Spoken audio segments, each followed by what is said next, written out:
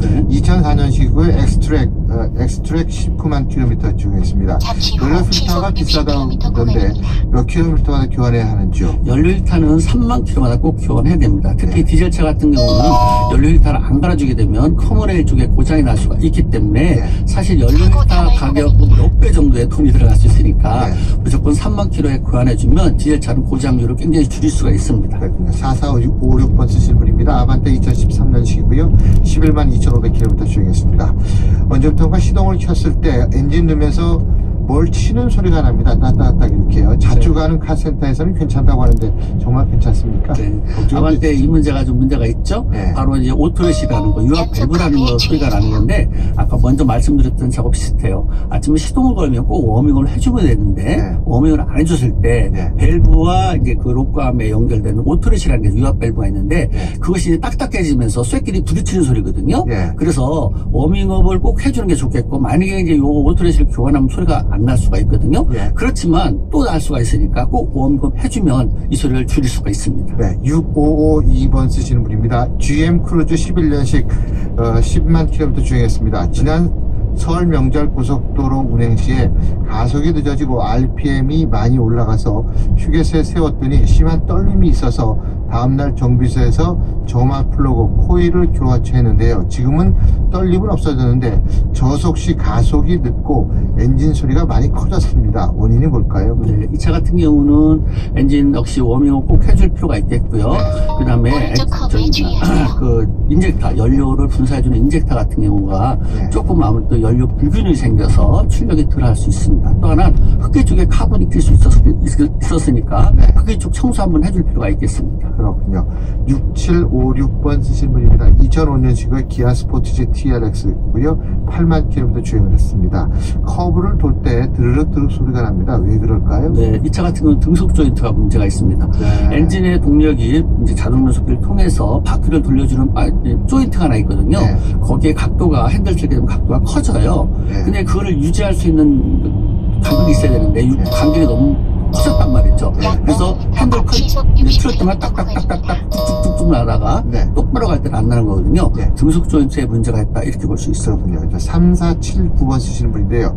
배출가스의 질소 산화물 과다라고 해서 정비하라고 하는데요. 뭘 고쳐야 될까요? 그럼 네, 질소산화물 과다하면 EGR 밸브를 한번 청소해 볼 필요가 있고요. 그 다음에 흡기 manifold 내 카본 청소를 할 필요가 있습니다. 네, 그렇군요. 자, 후 시속 2522번 60km 시동입니다. 구간입니다. 2002년식 베르나입니다. 시동을 그 켤- 시동을 걸 때, 걸을 때 기판에 노란색으로 체크 신호가 나왔다가 바로 꺼집니다. 무엇이 문제가 있을까요? 그런 말씀. 네, 꺼지는 건 괜찮습니다. 네. 근데 계속 들어오게 되면 그러는데 이 혼합비라든가 이런 차이 생기게 되면 노란 경고등이 들어옵니다. 그래서 네. 빨간 경고등은 절대 운행을 안 되는 거고요. 노란 네. 경고등은 고장인데 네. 만약 다시 꺼졌다 그러면 괜찮아요. 그렇군요. 네. 왜냐하면 좀 첫, 운전 처음 하다 해보거나 또 오래 하더라도 불이 들어오면 조금 약간 그 섬찟하거든요. 네, 맞아요. 뭐 잘못되는 거 네, 아닐까? 맞아요. 네. 네, 알겠습니다. 자, 오늘 말씀 잘 들었습니다. 네, 감사합니다. 네, 지금까지 자동차 톡 박병일 명장과 함께했습니다. KBS 라디오 생생라디오 매거진 김승채입니다. 1부는 여기서 마치고요. 저는 잠시 후 1시 5분 2부에서 다시 뵙겠습니다.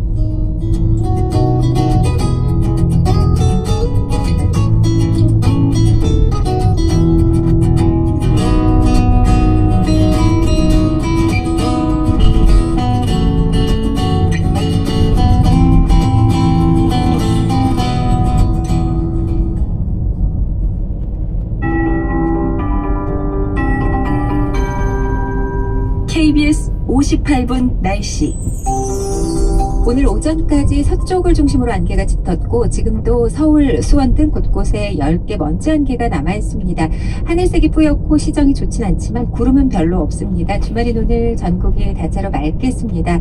이 중부지방은 오늘 밤부터 내일 오전 사이 가끔 구름이 많이 끼겠습니다. 이 서해안과 일부 내륙에 짙은 안개가 끼면서 낮 동안에 연무나 방무로 남는 경우도 있겠고 이 당분간 안개 끼는 날 많으니까 주의하셔야겠습니다. 오후부터 공기는 깨끗해지는 추위 가 되겠지만 일부 중서부 지역의 미세먼지 농도는 이른 오후까지는 높다는 걸 참고하셔야겠습니다. 기온을 보니까 서울과 광주가 8.1도까지 올랐고 강릉 10.5도, 대구 9.6도 등을 기록하고 있습니다. 오늘 낮 기온 서울이 9도, 강릉 10도, 대전 광주 12, 대구 14도 등 낮부터 예년 기온을 되찾겠습니다. 오늘도 포근하겠는데요. 내일은 낮 기온이 더 올라서 더 따뜻해지겠습니다. 일교차는 계속 크게 나겠습니다. 내일 아침 기온 서울 3도 등 영하 2도에서 영상 5도의 분포, 낮 최고 기온은 서울 12도를 비롯해서 8도에서 16도의 분포가 되겠습니다. 일요일인 내일도 대체로 맑은 날씨가 되겠습니다. 3월 전반기는 봄 시샘의 시기라 겨울 못지않게 추운 경우가 많은데요. 내일부터 시작되는 한 주 동안은 아침에만 좀 쌀쌀하고 낮은 따뜻하겠습니다. 지금 서울의 기온은 8.1도입니다. 강혜종이었습니다.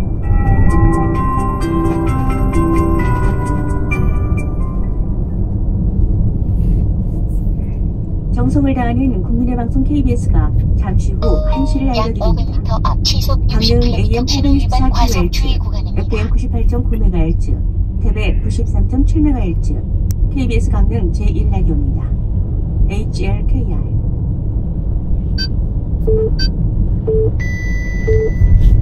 진해가 1시를 알려드립니다. 약 300m 앞 KBS 시속 제일 라디오 60km 한신 신호 뉴스입니다. 위반 과속 주의 백악관은 북미 정상회담 개최 가능성이 열린 데 대해 트럼프 대통령은 북한이 구체적인 조치와 행동을 보이지 않고는 북한과의 만남을 하지 않을 것이라고 밝혔습니다. 세라 허커비 샌더스 백악관 대변인은 현지 시간으로 9일 트럼프 대통령은 실제로 북한으로부터 뭔가 얻을 것이라며 이같이 밝혔습니다.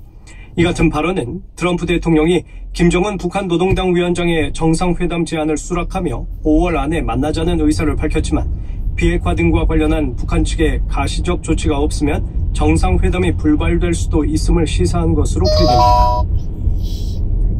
리용호 북한 외무상이 가까운 미래에 스웨덴을 방문할 것이라고 스웨덴 신문 다겐스 뉴에타르가 현지 시간으로 어제 소식통을 인용해 보도했습니다.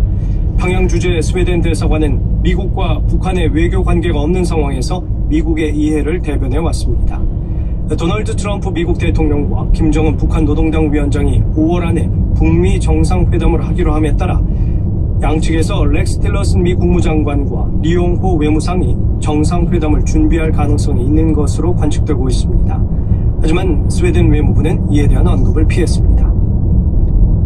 더불어민주당은 오늘 박근혜 전 대통령 탄핵 1주년과 관련해 촛불혁명으로 탄생한 문재인 정부와 함께 나라다운 나라를 만들기 위해 최선을 다하겠다고 다짐했습니다. 김현 민주당 대변인은 오늘 논평에서 국민의 힘으로 박 전 대통령을 파면시킨 지 꼭 1년이 됐다며 그 사이 탄생한 문재인 정부는 천지가 개벽했다는 평가 속에 큰 환호와 박수를 받고 있다고 평가했습니다. 김 대변인은 이어 이 모든 것은 국민의 힘으로 가능했다며 민주당은 경이로운 나라, 나라다운 나라를 만들기 위해 최선을 다하겠다고 말했습니다. 자유한국당은 박근혜 전 대통령 탄핵 1주년과 관련해 탄핵의 의미를 되새기면서 정부를 견제하고 대안을 제시하는 정당으로 자리매김하겠다고 다짐했습니다. 정태옥 한국당 대변인의 논평에서 자유한국당은 보수 진영의 전 대통령이 탄핵되고 정권을 바꾼 국민들의 냉정한 선택을 겸허하게 받아들인다고 밝혔습니다. 정 대변인은 탄핵 이후 과연 지금의 대한민국이 탄핵 전보다 무엇이 더 나아졌는지 의문이라며 문재인 정부는 지난해 5월 새 정부 탄생으로 새로운 세상을 만들 것처럼 떠들었지만 현실은 1년 전보다 더 어목하고 국민의 갈등의 골은 더 깊어졌다고 지적했습니다. 성폭력 가해자로 지목돼 수사를 앞두고 어제 오후 숨진 채 발견된 배우 조민기 씨가 남긴 유서가 발견됐습니다. 서울 광진경찰서는 오늘 오전 9시 30분쯤 조 씨가 숨진 서울 광진구의 한 아파트 지하 창고에서 조 씨의 자필 유서를 발견했다고 밝혔습니다. 유서는 모두 A4 용지 6장 분량으로 그동안 같이 공부했던 학생들과 가족들에게 미안하다는 내용인 것으로 알려졌습니다. 경찰은 CCTV 등을 분석한 결과 조 씨가 스스로 목숨을 끊은 것으로 보고 있습니다. 안희정 전 충남지사로부터 성폭행을 당했다고 폭로한 정무비서 김지은 씨가 검찰에서 23시간 30분가량의 피해자 조사를 받고 오늘 오전 9시 30분쯤 귀가했습니다. 김 씨의 법률 대리인 정예선 변호사는 2차 피해가 발생하지 않도록 지켜봐달라고 당부하면서 피해자가 꿋꿋하게 솔직하게 잘 진술했다고 설명했습니다. 앞서 서울. 서부지검 여성아동범죄조사부는 어제 오전 10시쯤 김 씨를 불러 고소인 조사를 진행하던 중에 오후 5시쯤 안전지사가 자진 출석하면서 고소인과 피고소인이 같은 날 조사를 받게 됐습니다. 성추문에 휩싸인 고은 시인과 이윤택, 오태석 연출, 연출가에 이어 김기덕 영화 감독에 대한 내용도 교과서에서 빠질 가능성이 커졌습니다. 교육부 관계자는 김기덕 감독 역시 논란이 된 만큼 검인정 교과서 협회에 협조를 요청했다며 협회가 각 출판사를 통해 어느 교과서에 김 감독 관련 내용이 있는지 현황을 파악할 것이라고 말했습니다. 2000년대 들어 드라마, 음악, 영화 등을 중심으로 한류가 이슈화하면서 고교 한국사 등 일부 교과서에는 김 감독이 베니스 영화제 황금 사자상을 받은 내용 등이 실렸습니다. 교육부 관계자는 출판사가 수정을 요청할 경우 검정 교과서는 교육부가, 인정 교과서는 심의를 담당한 교육청이 승인 여부를 결정한다고 설명했습니다. 오늘과 일요일인 내일은 전국에 대체로 맑은 날씨가 이어지겠습니다. 서울지방 현재 기온 8.1도입니다. 제일라디오 1시 뉴스를 마칩니다. 아나운서 김홍성이 전해드렸습니다. 지금 시각 1시 5분입니다. KBS.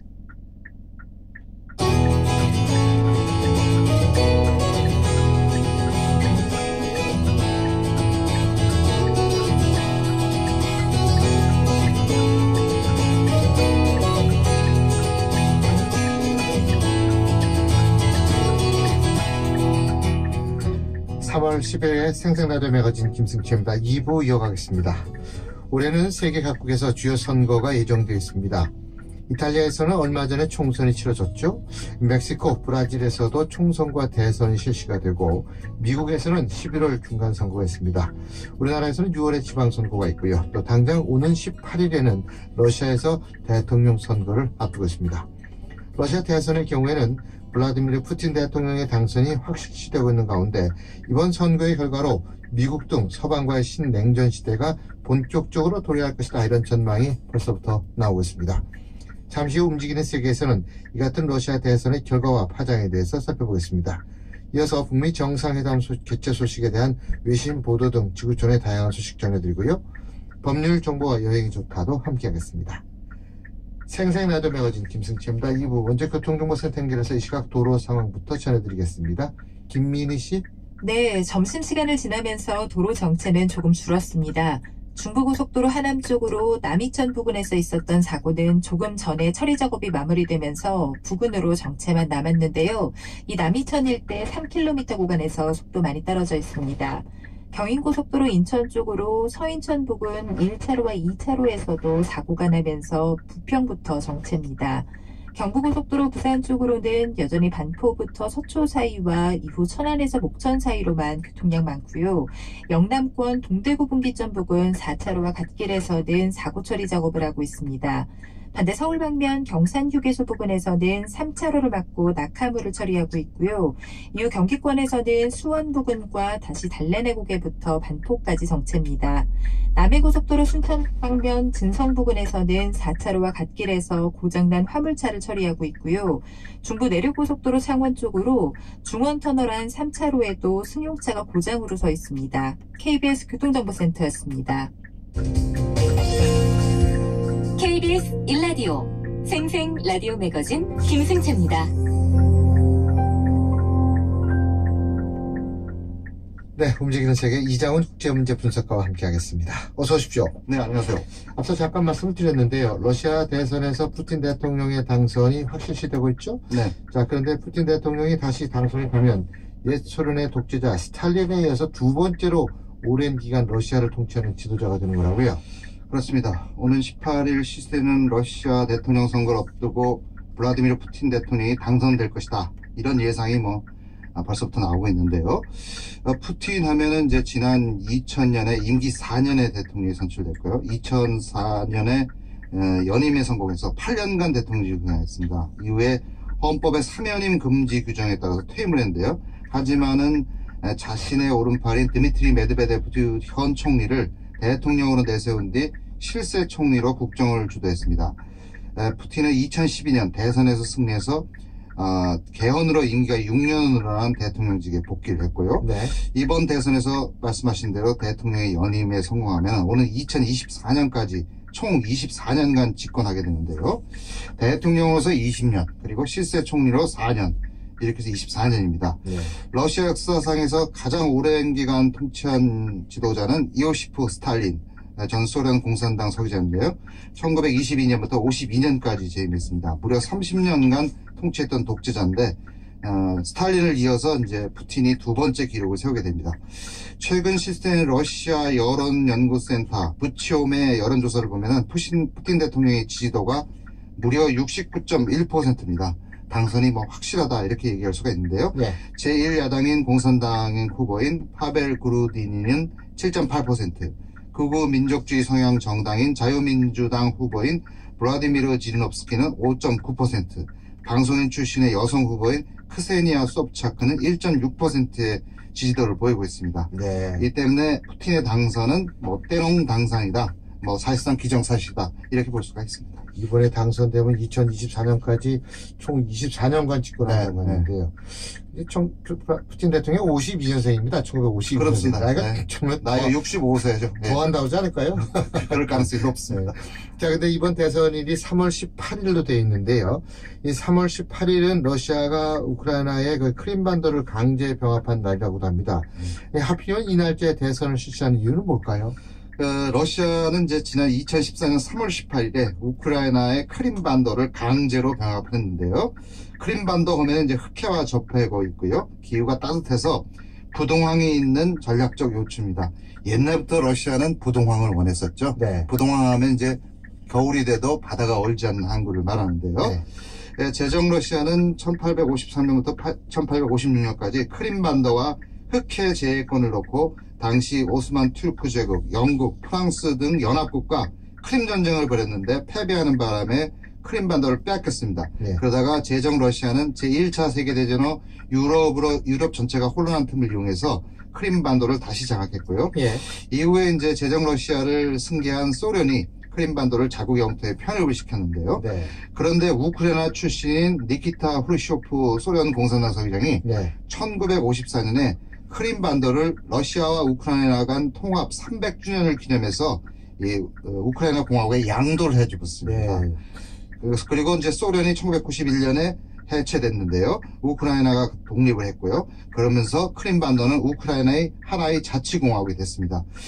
그런데 1900, 2014년에 내전이 벌어지자 우크라이나에서 푸틴 대통령이 크림반도의 러시아계 주민들을 보호한다는 명목으로 군병력을 동원해서 크림반도를 장악했고요. 이 때문에 이제 미국과 유럽연합 등 서방이 그동안에 러시아를 강력하게 제재해왔죠. 예, 푸틴 대통령이 그러면 왜 3월 18일을 선거일로 정했냐? 크림반도는 러시아의 영토고 서방의 제재에 굴복하지 않겠다는 의지를 대내외적에 대내외적으로 보이려는 의지가 아니냐 이렇게 볼 수가 있고요. 네. 또 러시아 민족주의도 부추기고요. 네. 자신도 역시 그것을 힘입어서 당선되는 속셈이다 이렇게 볼 수가 있습니다. 그렇군요. 자, 이런 가운데 푸틴 대통령이요, 이 러시아가 어떠한 미사일 방공만도 피할 수 있는 최신의 핵미사일을 개발했다고 공개했어요. 이 미국하게 그러면서 강력하게 경, 미국에 대해서 강력하게 경고를 했죠. 그렇습니다. 푸틴 대통령이 최근에 두마, 이 하원에서 가진 국정연설에서 어떤 미사일 방어 시스템도 무력화시킬 수 있는 핵미사일 개발에 성공했다. 이렇게 밝혔는데요. 푸틴이 공개한 핵미사일은 핵추진 크루즈 미사일, 극초음속 크루즈 미사일, 그리고 차세대 대륙간 탄도미사일 ICBM이고요. 또 핵추진 수중 드론 등 이 네 가지 최신의 전략 무기들입니다. 아, 푸틴은 앞으로 핵 전력을 대폭 강화하고 동맹국들에 핵 우산도 제공하겠다 이렇게 밝혔습니다. 네. 특히 푸틴은 신형 전략 무기 개발로 미국이 이끄는 나토의 미사일 방어 체제 MD가 무용지물이 됐고 러시아의 발전을 저해하려는 서방의 노력에 효율적인 종지부를 찍었다 이렇게 자평을, 자평을 했는데요. 네. 푸틴이 그러면 왜 이런 전략 무기를 공개했냐? 무엇보다도 에, 미국의 핵 무기 현대화 저- 계획과 미사일 방어 체계에 정면으로 대응하겠다는 의지를 대내적에 과시하는 거라고 볼 수가 있고요. 네. 또 에, 러시아를 앞으로 미국의 버금가는. 초강대부로 만들겠다는 그런 야심을 보인 것이다. 이렇게. 해석할 수가 있습니다. 에, 특히 에, 공포의 핵 꽁사용을 균형을 가지고 통해서 미국과 핵 있는 망했다. 동향, 예,